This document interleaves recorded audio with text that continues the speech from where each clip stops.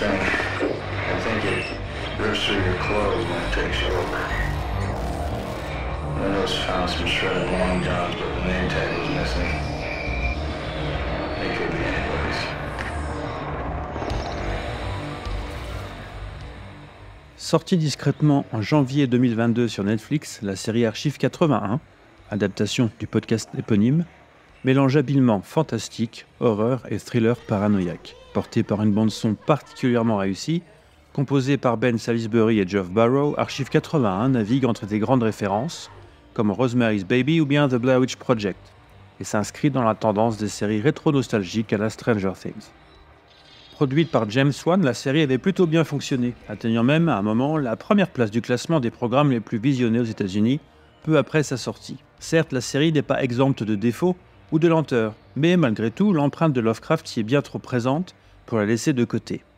Rendez-vous donc dans l'étrange immeuble Visseur pour ce nouvel épisode de Radio Migo. Attention, si vous n'avez pas vu la série, des spoilers sont possibles. Ce que l'on veut, c'est un artiste.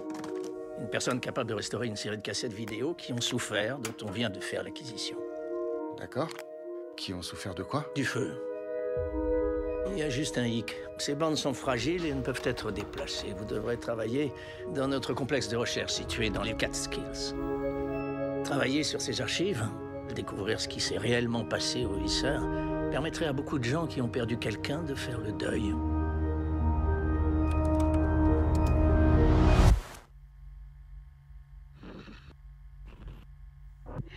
Ici Mélodie Pendras. Nous sommes le 11 mars 1994. Il est 10h32. C'est le premier jour de mon projet d'histoire orale qui porte sur l'immeuble Visseur. Je vais toquer à quelques portes maintenant.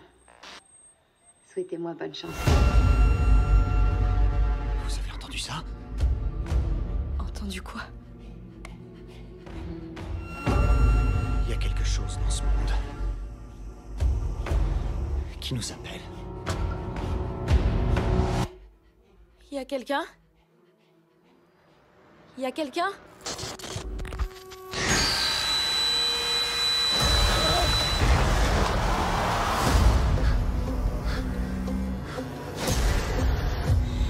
Dan, tout va bien? Tu, tu gardes le moral? T'as dit que tu voyais des trucs ici. Marc, je vais bien. Je te le promets.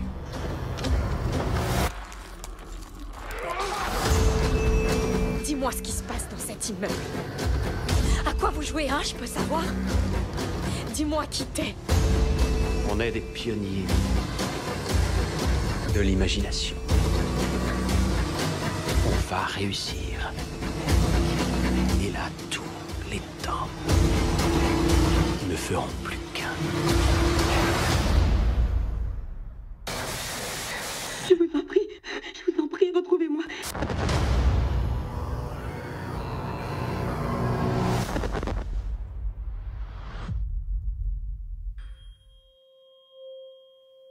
Archive 81 suit l'archiviste Dan Turner alors qu'il accepte un mystérieux travail consistant à restaurer un ensemble de cassettes vidéo datant de 1994.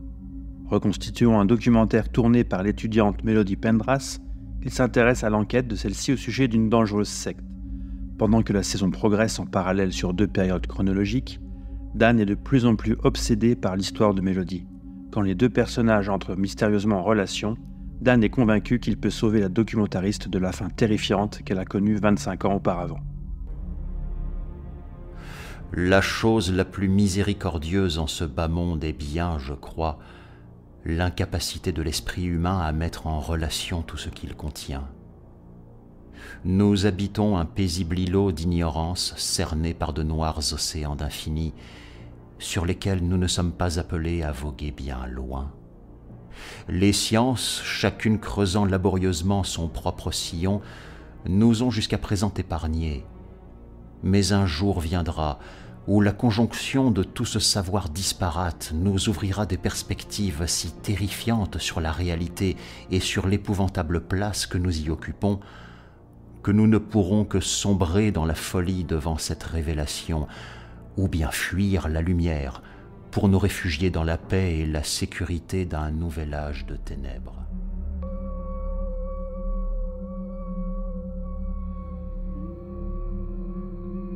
Archive 81 est une série qui repose sur un mode narratif particulier, le found footage. Si vous avez vu The Blair Witch Project, sorti en 1999, ou le très Lovecraftien Cloverfield, sorti en 2008, vous reconnaissez sans doute le principe. Une partie où la totalité de la fiction est présentée comme un enregistrement retrouvé. Ces enregistrements sont généralement tournés par des protagonistes de l'histoire, accompagnés d'un commentaire instantané. Et ce mode de narration est moins récent qu'on ne pourrait le penser. Mary Shelley, pour Frankenstein, ou un peu plus tard Bram Stoker avec Dracula, utilisent à leur façon ce procédé où viennent s'enchasser plusieurs récits. Entrées de journaux intimes, lettres, coupures de journaux, télégrammes, journaux de bord et autres documents trouvés sont rassemblés et organisés pour être confiés au lecteur. C'est le principe même de l'appel de Cthulhu écrit en 1926 par Lovecraft et publié pour la première fois dans Weird Tales en 1928. Dès les premières pages, Lovecraft nous avertit toute cette histoire a été reconstituée à partir d'un document retrouvé parmi les papiers de feu Francis Wayland Thurston de Boston. L'anthropologue Thurston hérite des documents et des recherches de son défunt oncle, le professeur George Gamel Angel, mort dans de mystérieuses circonstances. Un étrange bas-relief, des témoignages, des lettres et des notes laissées par différents protagonistes. Une histoire de famille que l'on trouve à la fois dans l'appel de Cthulhu et dans Archive 80. Thurston enquête sur la disparition de son oncle, Dan Turner enquête sur celle de son père. Lovecraft utilise dans l'appel de Cthulhu ce mode de narration mélangeant plusieurs sortes de médias pour construire la narration. On n'est pas encore dans du found footage, mais plutôt dans du found writing, des écrits retrouvés.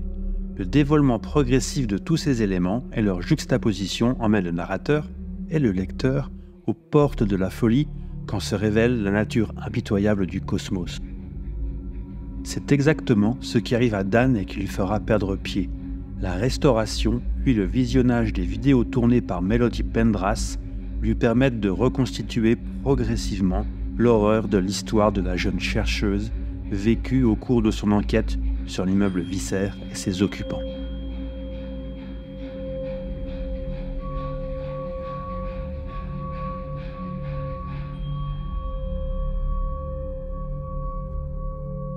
Vous qui entrez ici, abandonnez toute espérance. L'immeuble est bel et bien un personnage à part entière dans Archive 81. Le Visseur est un carrefour d'horreur interdimensionnelle où les frontières entre le réel et le surnaturel s'estompent. Construit à New York, sur les ruines de la demeure de la famille Voss, après son incendie en 1924, c'est un espace liminal, délabré et inquiétant. Les locataires ont tous quelque chose d'étrange. Au fur et à mesure de l'exploration que nous revivons à travers la restauration des cassettes vidéo de Melody Pendras, chaque étage révèle ses horreurs comme autant de cercles de l'enfer de Dante. Et si Archive 81 n'était qu'une relecture contemporaine d'un des grands poèmes épiques du patrimoine, la Divine Comédie de Dante, après tout, la littérature trouve toujours son chemin.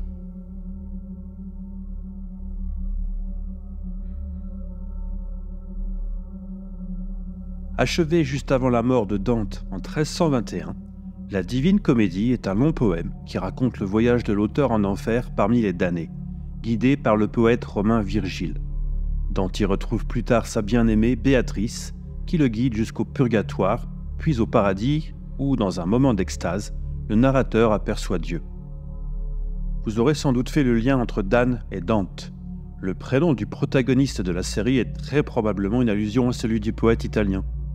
Dan et Dante vivent tous les deux un voyage en enfer. Dans Archive 81, Dan Turner se plonge dans l'horreur, guidé par Virgile Davenport, commanditaire de la restauration des bandes vidéo. Oui, vous avez bien entendu, Virgile.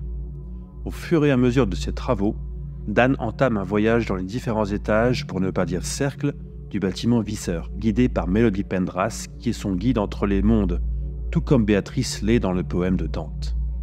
Ensemble, ils découvrent des étages interdits aux visiteurs, comme le sixième étage, lieu où les membres de la secte de l'immeuble Visser se retrouvent pour invoquer le démon Kaelego lors de cérémonies impies. Le sixième étage, le sixième cercle de l'enfer, celui des hérétiques et de tous leurs disciples. Dans l'épisode 1 d'Archive 81, Dan visionne un film d'archives que l'on soupçonne être un snuff movie, tourné en 1958 par le célèbre réalisateur William Crest. Ce film dépeint une cérémonie étrange et démoniaque au cours de laquelle l'un des participants est tué. Le titre du film? Le Cercle.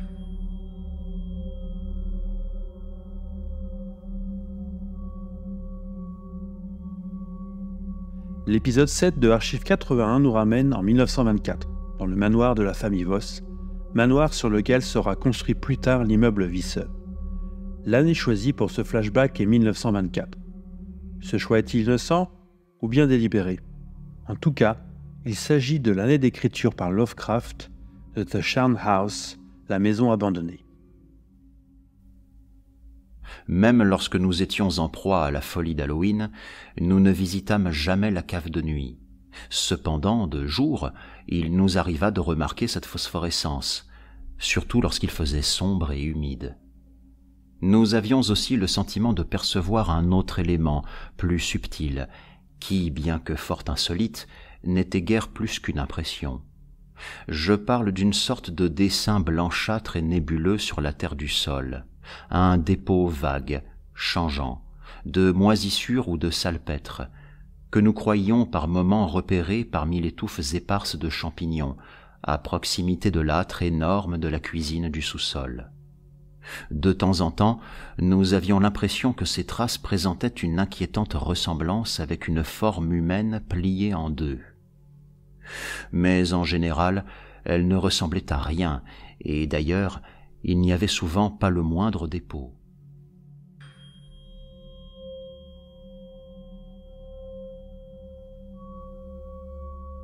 Tout comme dans la maison abandonnée de Lovecraft, la demeure des Voss est envahie par une étrange moisissure noire que l'on retrouvera tout au long de la série. Elle est la trace tangible de la proximité de Kaelego et de ses tentatives de quitter son autre monde, sa dimension, pour rejoindre la nôtre. Il savait que sa chambre se trouvait dans la vieille maison de la sorcière. C'était d'ailleurs pour cette raison qu'il l'avait choisie. Les archives du comté d'Essex abondaient de références au procès de Kezia Mason, et à ce qu'elle avait avoué sous la contrainte à l'expéditive cour de justice avait fasciné Gilman au-delà de toute raison. Elle avait évoqué devant le juge Hathorne des lignes et des courbes capables d'ouvrir des accès menant à travers les barrières de l'espace, à d'autres plans d'existence, et laissait entendre qu'on avait souvent recours à de telles lignes et de telles courbes lors de certaines assemblées nocturnes tenues dans la sombre vallée de la Pierre Blanche qui s'étend derrière Maida Hill et sur l'île déserte de la rivière.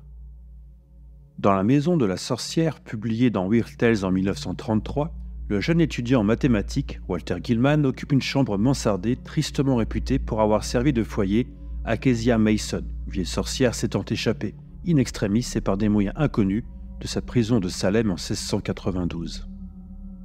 Les rêves du jeune étudiant, de plus en plus délirants, l'emmènent dans divers endroits étranges et inconnus, probablement dans d'autres dimensions.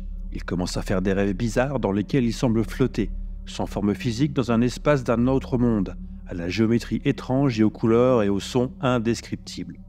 Le bâtiment lui-même, la maison de la sorcière de par sa structure non euclidienne, est un carrefour vers d'autres dimensions qui favorise la rencontre d'horribles créatures. L'étrange maison haute dans la brume, publiée pour la première fois dans Weird Tales en 1931, illustre aussi cette idée. Dans le village de Kingsport se trouve une vieille maison isolée au bord d'une falaise. De la lumière apparaît parfois à ses fenêtres, mais sa porte d'entrée est inaccessible, car elle se trouve du côté de l'océan et donne directement dans le vide. Son unique habitant est un homme étrange, aux yeux phosphorescents, à la barbe noire et aux vêtements anciens. cours de l'histoire, l'homme refusera l'entrée de sa maison à une inquiétante silhouette noire, mais laissera entrer Neptune et d'autres créatures mythologiques. Cette étrange maison haute dans la brume est à la frontière de la mer et de la terre, mais surtout à la frontière de notre monde et d'autres mondes, voire d'autres dimensions. La maison de la sorcière, l'étrange maison haute dans la brume, l'immeuble Viscère. Ces bâtiments sont des endroits de transition, des endroits où plusieurs dimensions se rencontrent et se chevauchent, libérant leurs habitants et créant un pur sentiment d'horreur cosmique Lovecraftien. Il se pourrait que d'autres êtres, dotés d'un éventail sensoriel plus large, plus fort ou différent, non seulement voient la réalité d'une manière très dissemblable, mais perçoivent et étudient aussi des univers entiers de matière, d'énergie et de vie, qui, bien qu'ils soient à portée de main, demeurent à jamais indétectables à l'aide des seuls sens dont nous disposons. Dans sa demeure de relié, le défunt Cthulhu attend en rêvant.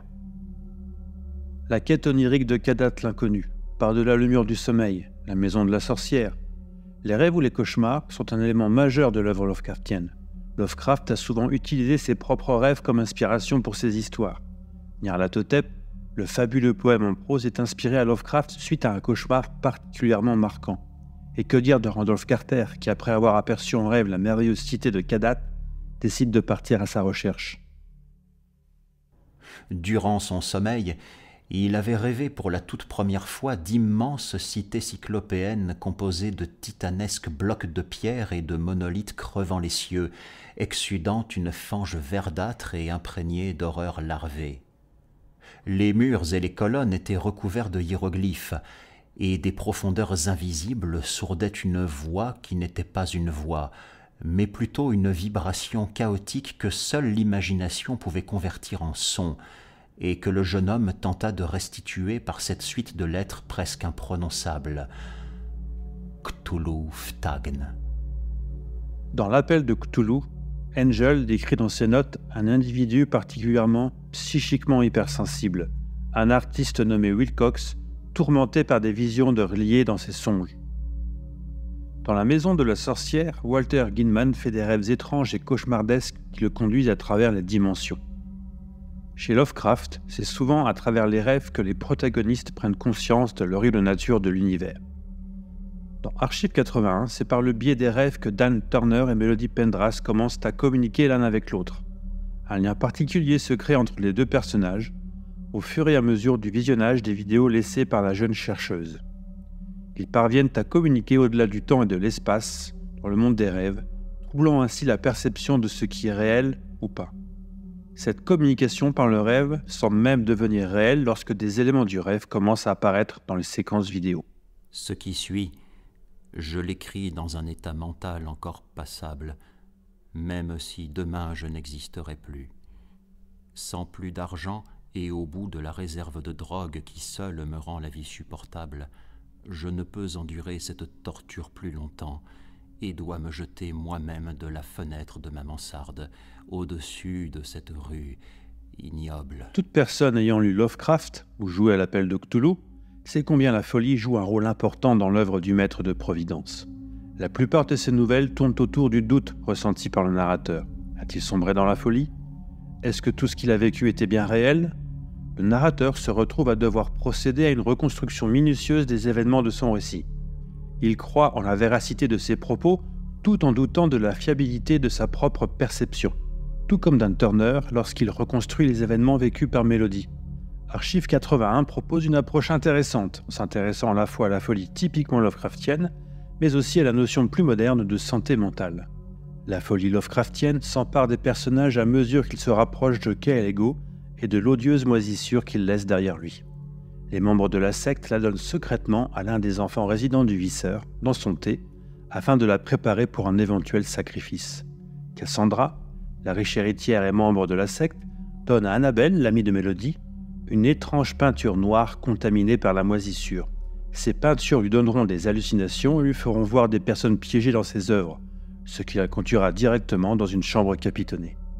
Alors que chez Lovecraft la folie se déclare a posteriori, quand les protagonistes sont plongés dans les affres de l'horreur cosmique suite à de terribles révélations, la folie, ou plutôt la maladie mentale, est présente dès le départ de l'histoire dans Archive 81.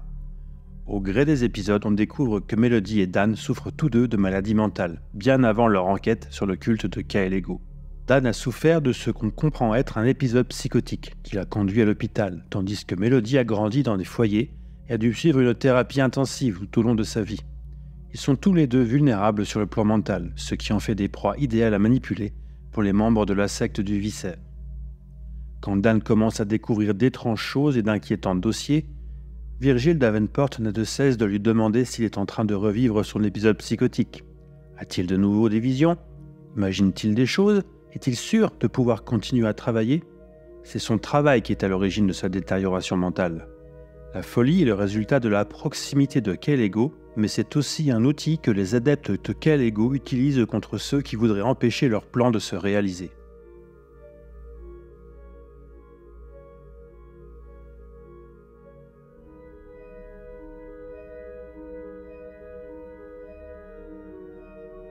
Une histoire de secte et d'idole.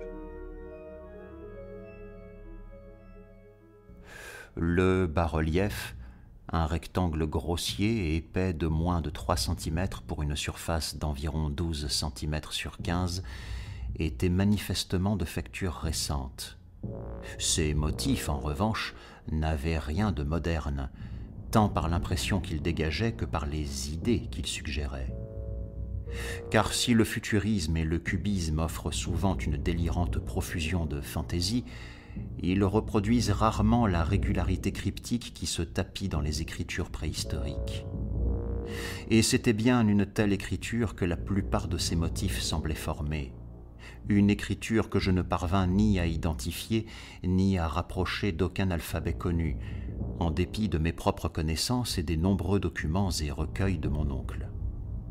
Ces mystérieux hiéroglyphes étaient surmontés d'une effigie indubitablement figurative, mais dont l'exécution abstraite ne permettait pas de déterminer la nature exacte. On eût dit une espèce de monstre, ou bien la représentation symbolique d'un monstre, que seul un esprit malade avait pu concevoir. Toute bonne secte se doit d'avoir son idole impie. Parmi les papiers retrouvés par William Thurston se trouve le monstrueux Cthulhu. Archive 81 ne déroge pas à ce principe. Les résidents de l'immeuble Visser sont liés, de près ou de loin, au culte secret de Kaelego. Capable de contourner les lois de l'espace et du temps, l'entité Kaelego a été enfermée dans la statue la représentant par les sorcières Baldung afin de le tenir à l'écart de notre monde. Les membres de la société secrète de l'immeuble Visser sont des intellectuels ou des universitaires une riche héritière, une compositrice d'opéra ou un professeur, qui cherchent à provoquer, grâce à un sacrifice humain, le retour de l'entité transdimensionnelle. Et en bon cultiste, il n'hésite pas à faire disparaître ceux qui s'intéressent de trop près à leurs affaires.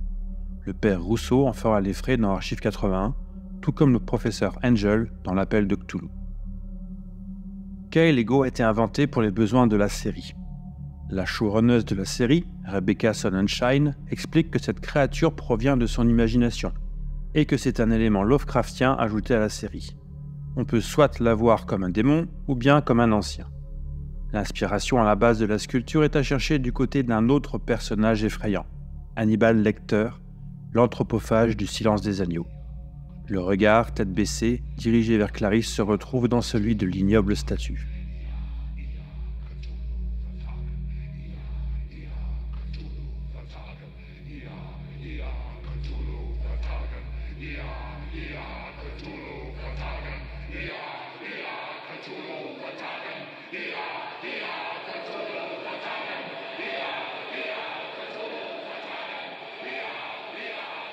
Toute bonne secte, c'est une idole impie, mais aussi une bonne chanson. Dans Archive 81, le culte de Kaelego exige de chanter, si on peut dire, une sorte de bourdonnement répétitif qui sera entendu par Kaelego au-delà de notre dimension. On l'entend à plusieurs reprises. Mélodie parvient à le discerner parmi les bruits de l'immeuble à travers les conduits d'aération. Elle l'entend chanter par un chœur d'opéra pendant un concert, orchestré par une habitante du Visseur. Lors du flashback dans la demeure des Vos, l'orchestre qui anime la soirée mondaine en propose même une version jazz.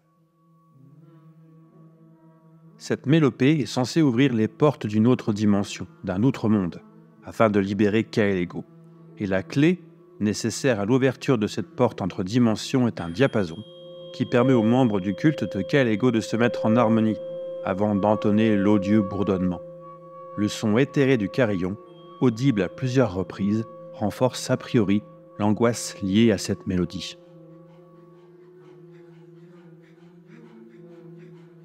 La structure musicale de cette invocation mérite qu'on s'y attarde quelques instants. Elle est composée de trois notes, si, do, mi, sur un intervalle de quarte. On n'est pas loin, à un demi-ton près, du Diabolus in Musica, l'intervalle musical proscrit dès le Moyen Âge pour sa dissonance maléfique.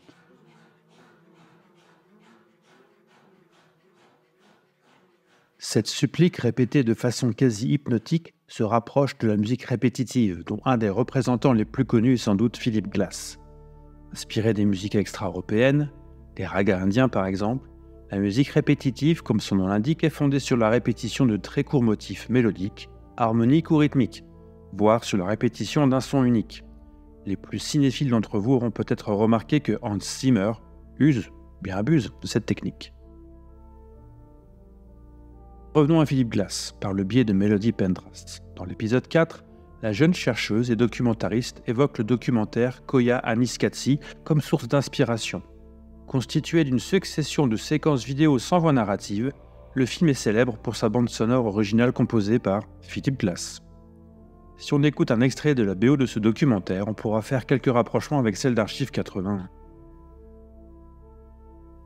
Jeff Barrow et Ben Salisbury, compositeurs de la bande originale de la série, et déjà à la manœuvre pour la série Devs ou le très Lovecraftien Annihilation, s'inspirent avec talent de la musique de Philip Glass, qui produisent une musique cyclique, au puissant effet hypnotique, qui plonge le spectateur dans une autre dimension, comme pourrait le faire la musique d'un certain Eric Zahn. Leur musique organique, les synthétiseurs sont assez peu présents, joue aussi sur les bruissements, la spatialisation du son et des effets suggérant la dégradation des supports physiques restaurés par Dan. Ils ont également choisi de glisser par moments le son du fameux diapason maléfique. À des moments, on ne devrait pas l'entendre, pour renforcer le sentiment d'oppression émanant du visseur.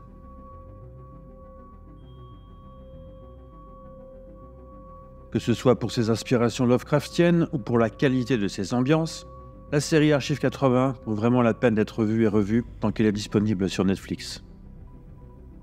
Malheureusement, elle ne connaîtra pas de deuxième saison. La saison 1 s'achève sur un terrible cliffhanger, laissant Dan Turner seul dans une posture terriblement Lovecraftienne, encore une fois. Il prétendait adorer les grands anciens qui avaient vécu plusieurs ères avant l'apparition du premier homme et était descendu des cieux pour habiter notre monde alors en sa prime jeunesse. L'appel de Cthulhu. Alors, doit-on avoir peur des étoiles, de la comète Charon, qui guide jusqu'à notre dimension Kael-Ego C'est sans doute Howard Phillips Lovecraft qui a écrit la meilleure des réponses en 1917. Astrophobos. Ainsi, je rêvassais lorsque par-dessus la vision s'insinua un changement au rouge délire. L'espoir s'évanouit, cédant à la dérision la beauté fut en proie à l'étrangeté d'une déformation. Les accords des cantiques s'entrechoquèrent contre nature, les apparitions spectrales se fondirent en un registre infini. L'étoile de folie s'embrasa de pourpre, comme je m'efforçais de voir au-delà des rayons. Tout n'était que détresse qui avait semblé joie, avant que ma contemplation ne fût flétrie par la vérité. Les cacodémons, embourbés dans la démence, lorgnaient à travers les tremblements de fièvre. À présent, je connais la fable démoniaque. À présent, je fuis la noirceur pailletée que j'aimais et auparavant. Mais l'horreur, prévue et prédite, hante mon âme pour l'éternité. Howard Phillips Lovecraft, 1917.